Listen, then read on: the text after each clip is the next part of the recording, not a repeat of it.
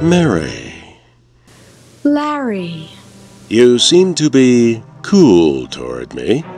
Why are you so cool? I have Freon in my underwear. Tell me, Mary, is there someone else?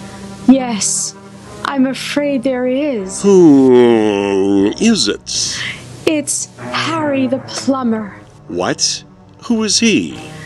I think I've fallen for Harry because he's fixed every drip I've ever had in my life. But what does that hairy plumber have that I don't have? Everything a good plumber should have good pipes, copper fittings, ball valves, a torque wrench.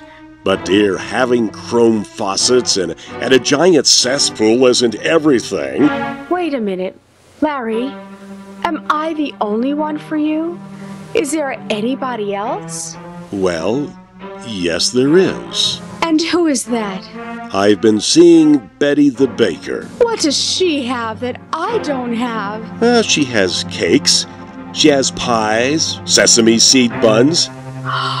So you mean to say, when I was having my sewer flushed, you were messing around with whipped cream? I'm afraid so, Mary. But we could still make this work. I'm afraid that's impossible. I'm out of vanilla extract. And besides, I don't think you could auger a sewer to save your life. Oh, yeah? Well, I don't think you could handle cornstarch responsibly. That's it. I'm going to where the yeast is. And I'm going to someone who can handle a faucet washer the way it should be handled. Tune in again tomorrow when we'll find out if Mary and Larry can still find bliss with a socket wrench that makes donut holes.